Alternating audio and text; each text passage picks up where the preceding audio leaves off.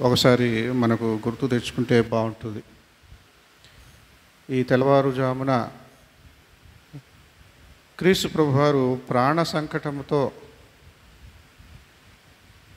నిన్నటి దినాన అంటే లక్షవారం రోజున గురువారం రోజున గెచ్చమని తోటలో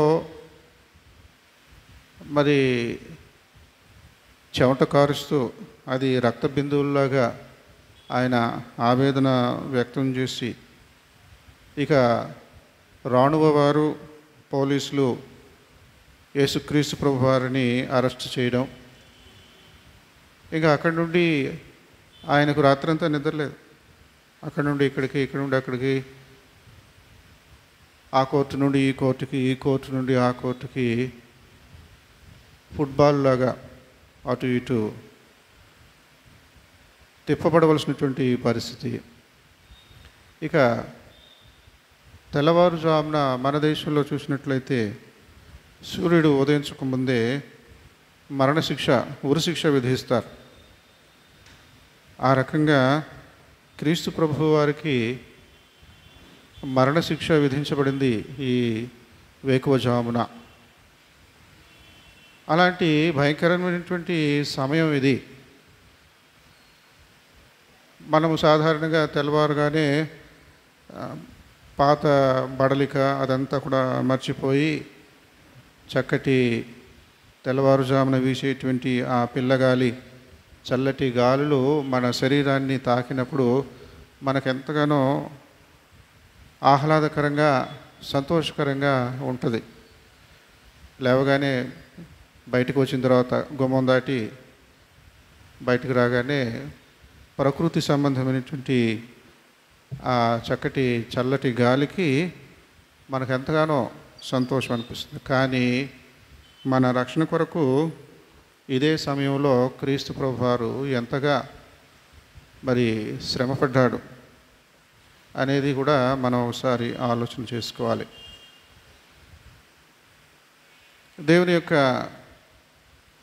పరిశుద్ధ గ్రంథంలో అనేకమైనటువంటి విషయాలు ఒక్కొక్కటి మనము తరచి చూసినట్లయితే అన్నిటికీ జవాబు దొరుకుతుంది. సరైన రీతిని దానిని మనము చదువుకోవాలి అర్థం చేసుకోవాలి. కొన్నిసార్లు మరి ప్రవక్తల యొక్క మాటలు ప్రవచన వరం కలిగినటువంటి వారి యొక్క మాటలు మనం వినాలి. కొన్నిసార్లు పరిశుద్ధ గ్రంథంలో మంచి పాండిత్యము అవగాహన కలిగినటువంటి మేధావుల యొక్క మాటలు మనం వినాలి. ఈ రకంగా పరిశుద్ధ గ్రంథం నుండి మరి ఎన్నో విషయాలు మనం తెలుసుకుంటు ద్వారా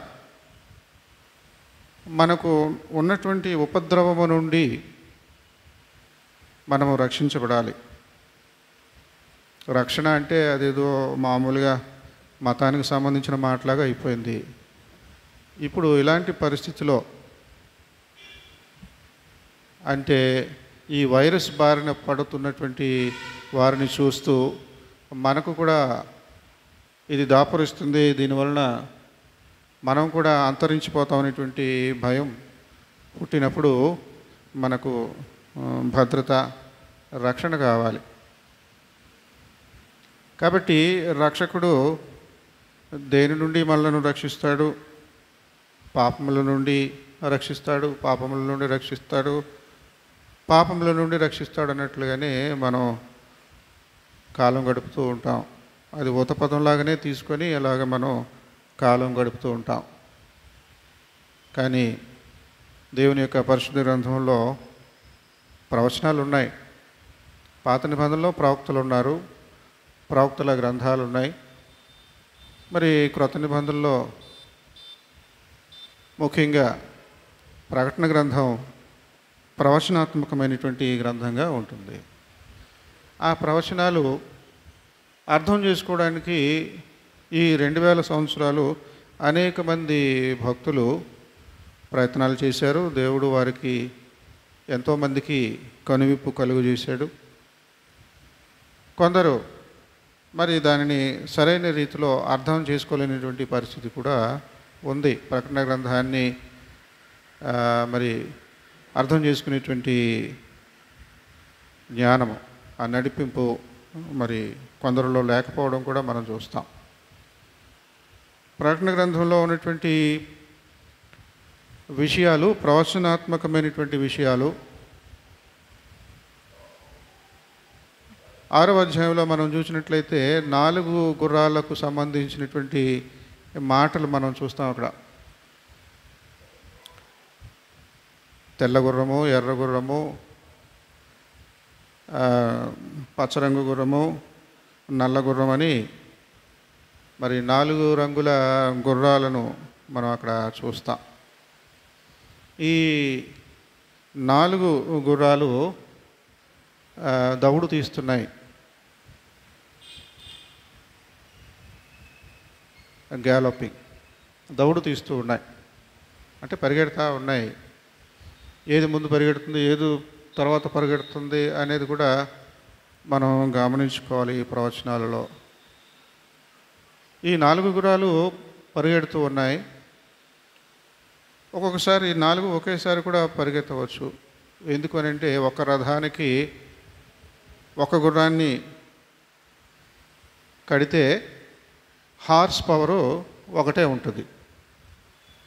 శక్తి ఆ రథాన్ని లాగేటువంటి శక్తి ఒక్క గుర్రానికి ఉన్న శక్తితోనే ఆ రథం లాగబడుతుంది. ఆ రకంగా కాకుండా నాలుగు గుర్రాలు కడితే ఫోర్ హార్స్ పవర్. నాలుగు గుర్రాల శక్తి అక్కడ కనబడుతుంది. మరి ఈ విద్యుత్ రైలు మనకు ఇంజిన్లు రాకముందు మరి వేరే ఇంజిన్లు ఉండేవి. డీజిల్ ఇంజిన్తో రైలు రైలు ఇంజిన్లో.